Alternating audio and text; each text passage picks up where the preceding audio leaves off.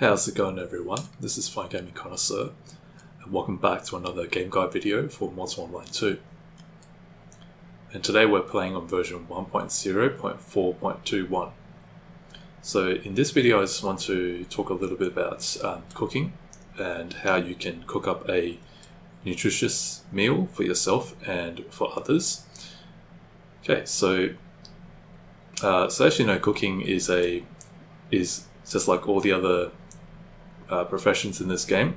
Uh, it's complex and uh, and it does, it's not as straightforward as you might find in a lot of other MMOs. For example, uh, there are no preset recipes and there are no set ways of cooking of doing things, and it, and it is the same with cooking.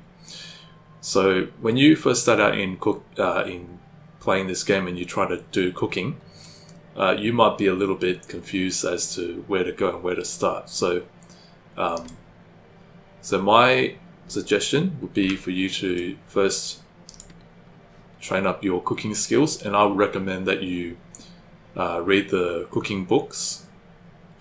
So you have cooking here, which is the prep, uh, parent skill for cooking, and uh, so you, you should train this up and don't worry about advanced cooking unless you really want it, because it is a primary. So train up cooking, and then also under crafting appliances, you should train this up as well. Train this first, crafting crafting appliances, and then underneath that you have cooking tools, and then underneath that you have different, uh, you know, different cooking cooking tools, and they all have their own skills. So I have chosen to use the cooking pot and I have it at 81 and so I, I have read up the books and right now I'm still reading up the okay, so it's almost done vegetology because I am I will show you why I chose that skill later on. And there is also the material lore.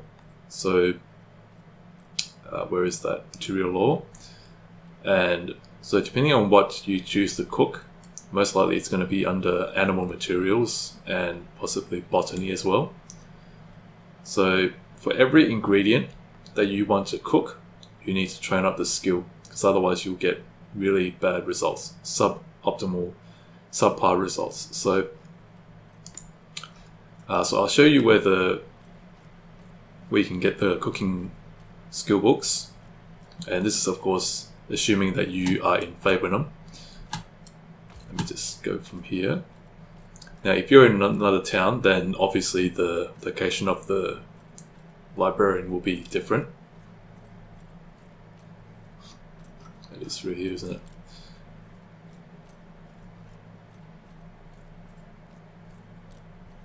Okay, so material lore librarian is here. And you have botany lore and animal materials. So they're all in different uh, different librarians. So crafting librarian, I think he has the um, actually I think he might might be here common librarian.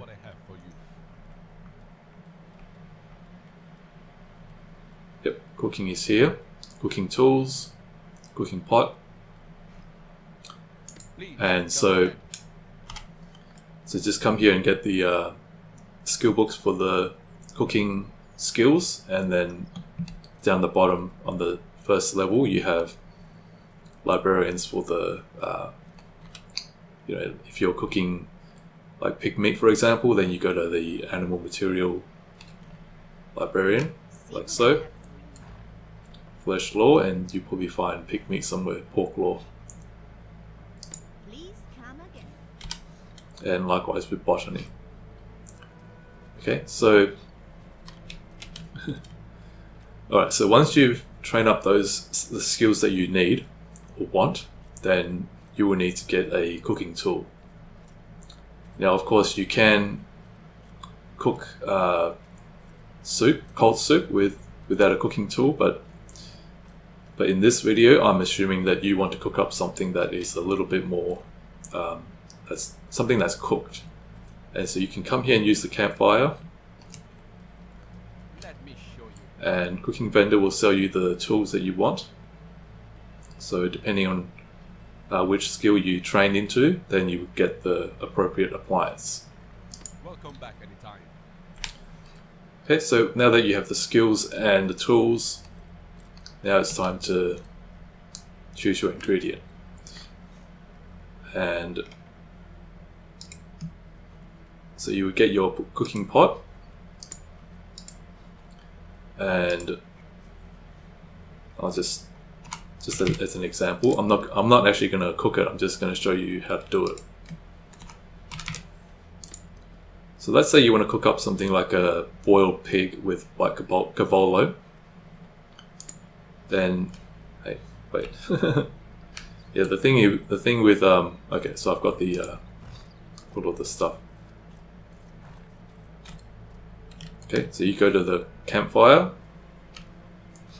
and you drop your appliance and the ingredients into the uh, into the boxes below. Now, one thing to note is that if you don't put any water or like a liquid substance, then what you would get is a fried um, fried food. So if I cook this just with the pig meat and the white cavolo, then I'll probably get something like a, a fried pig with white cavolo. However, um, uh, where's that uh, food?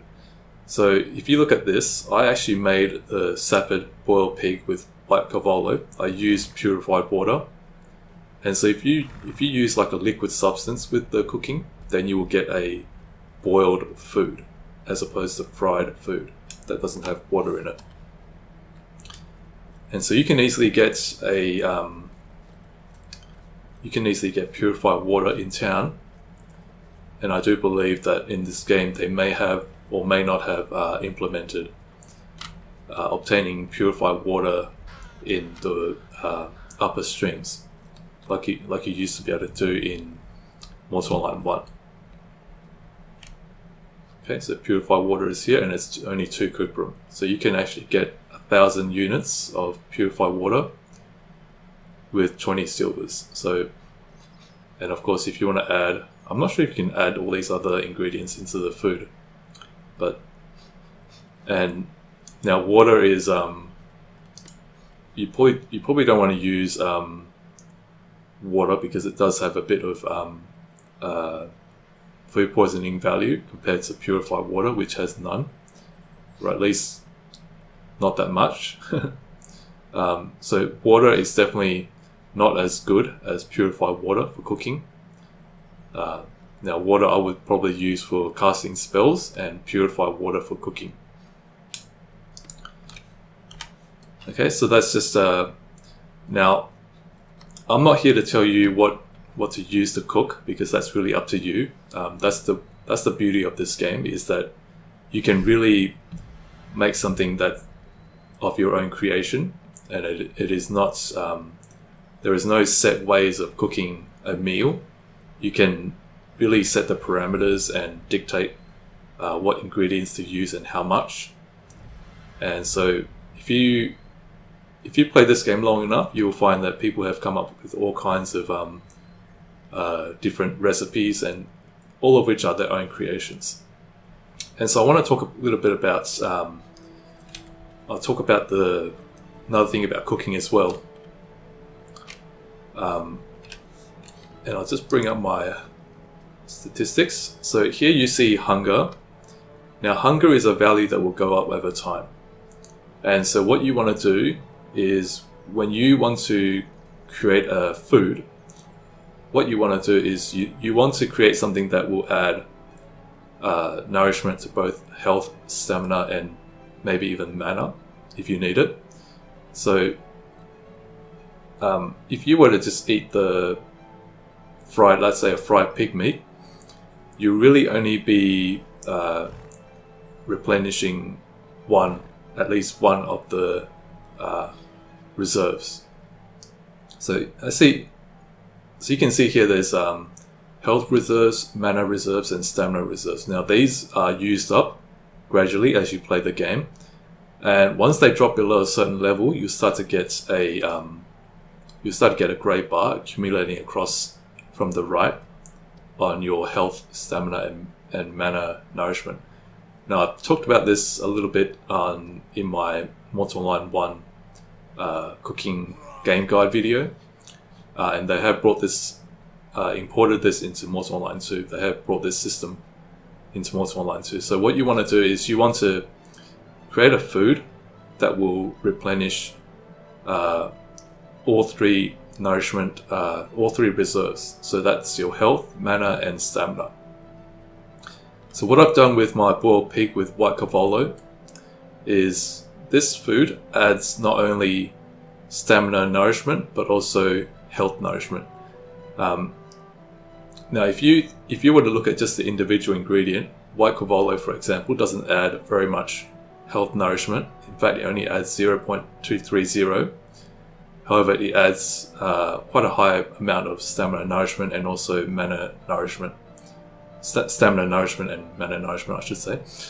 And now, with my boiled pig with white cavolo, it adds not only health nourishment, but stamina nourishment and a little bit of mana nourishment as well.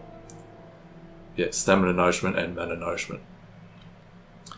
And so that's that's really what you want to achieve. You want to create a food that adds all three nourishments once you eat the food because uh, it doesn't matter what food you eat, it's going to cause the hunger value to go down. So if you only eat, let's say, uh, uh, you know, white cavolo, then you really only been uh, replenishing your stamina nourishment and mana nourishment values, and not really your health nourishment. And that's and that's probably not ideal because when you play the game, you'll be depleting all three reserves, especially if you're a mage. Now, if you're not a, not a mage, then most likely your health nourishment, health reserves, and stamina reserves will be going down, and not so much your mana reserves. But if you're a mage or a hybrid like me, then you probably want to focus on all three. You want to cook a food that will replenish all three reserves. And so, what I've created is by no means the best or the um, the most advanced or the most uh, nourishing food, but it is what I have come up so far, and it, it, it probably will serve me well for the time being. But of course, in future, I will probably want to cook something that's a little bit better, and that will uh, replenish more of my health, stamina, and mana reserves. Okay, so that's what you want to achieve, um, because when you want to eat something, you want to eat something that's going to uh, add the most value to your reserve, all three reserves um, not just one or two, but all three. Okay, but uh, but keep in mind as well that uh, if you eat too much, uh, you know, if you eat too much food that has high health nourishment value, just keep in mind that your um, that your weight will go up, and as your weight goes up, your character's physical appearance will change, as will the uh, attributes. Let's say let's say if I become obese, uh, my character will look fatter, and I think it also add uh, constitution, I think, and intelligence, but it will decrease my dexterity and possibly strength as well.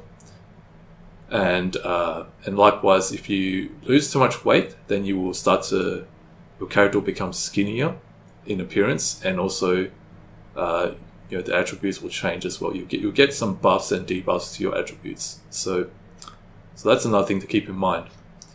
Uh, sometimes it may not be a good idea to eat too much uh, food that adds too much health nourishment, and other times it may be the best, depending on what situation you're in.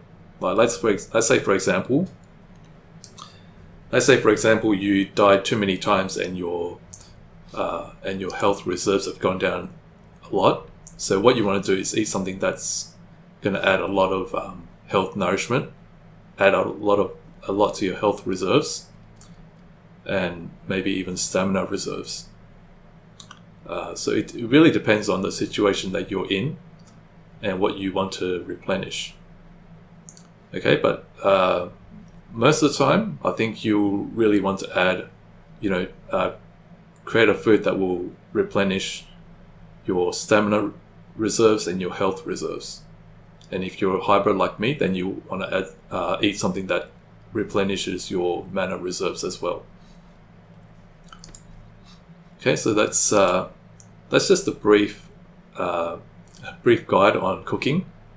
Now, of course, cooking is probably um, a lot more complex than this, but this is just probably the basics.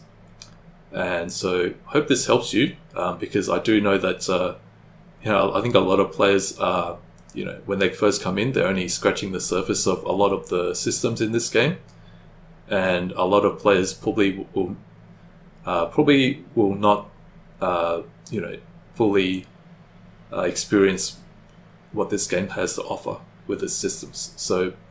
Um, so I hope this video will help you to understand the cooking system a little bit more.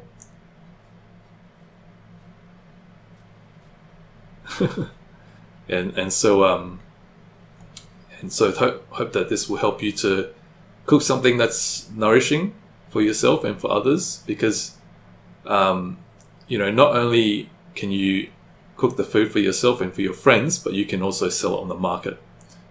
And if you cook something that's really good then you can make a lot of money with it.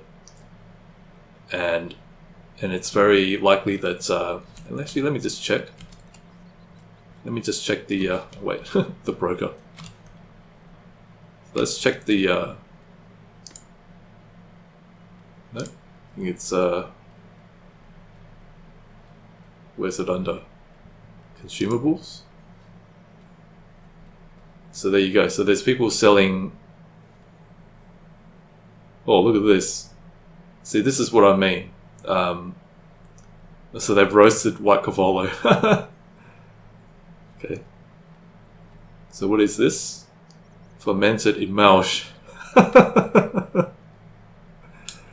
so I, I don't know what this is. I, oh, this is. Oh, okay. So this is actually a potion. This this will be considered more as a as a potion for mages. I mean, if you look at the mana nourishment, it's two hundred nine point two two four.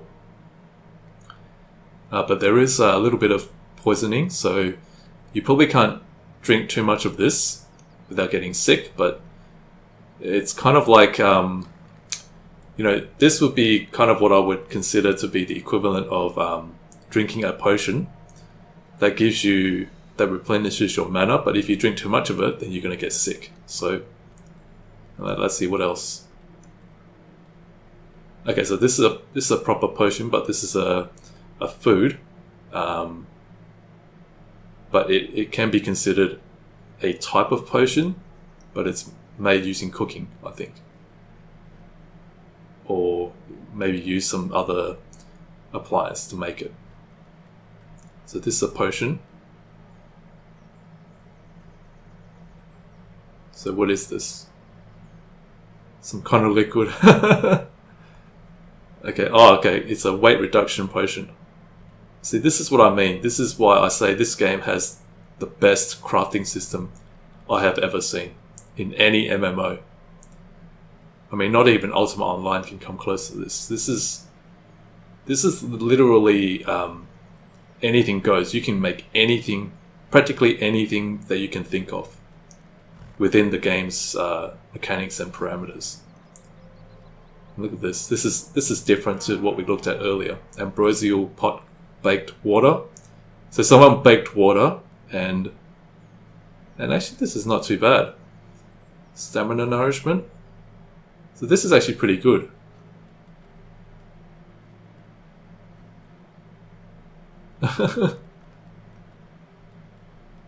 so you can really cook up a lot of different things and it really it comes down to your imagination.